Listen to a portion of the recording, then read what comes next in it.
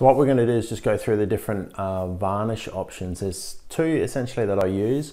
One has sort of high fumes, but it's, it's quite efficient and I recommend that you do it outside so you can spray and you just do an even distribution of spraying one coat, but just keep it flowing. Don't stop, just make sure that you get one even flow right across the canvas. And I generally do about two, sometimes three coats, but you, gen you want to leave probably an hour in between that you do coats. One of the most efficient ways is, is no fumes, is with this one, the gloss varnish, and I'll show you how I'm going to apply it onto this canvas today. So I'm not going to use the spray, we're going to use this one we actually literally just paint it on. So for this varnishing exercise, I'm going to be using the gloss varnish. It's the final varnish um, for, for, for acrylic paint.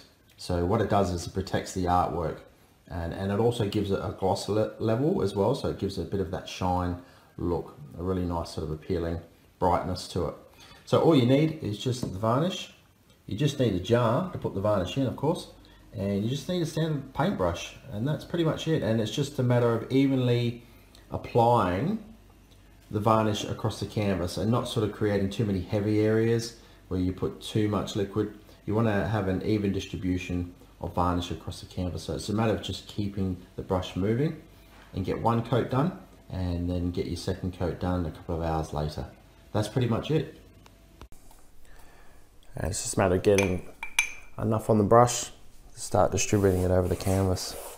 It will give it a bit of a milky paste across it, but it will start to blend in and the milky look will start to drop out.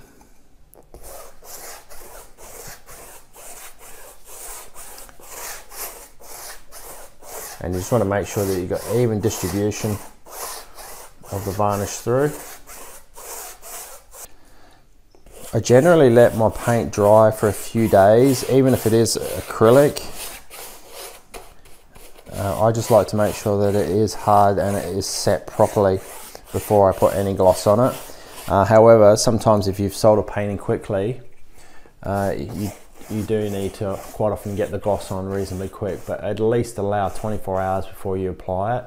And then before you actually ship the painting, try if you can wait another 24 hours just for that gloss just to seal into the into the painting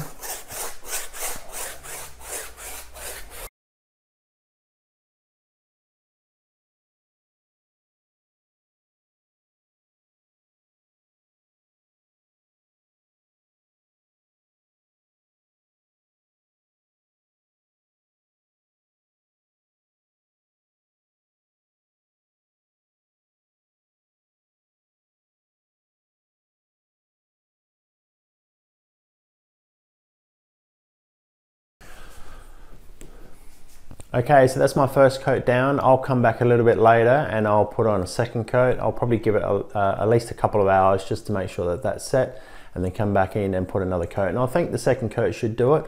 Uh, or just touch up any areas that I might have missed. Sometimes there's sort of little small gaps that you can't quite see through the light. And the second coat will give it a full comprehensive cover. All right, that's it for now.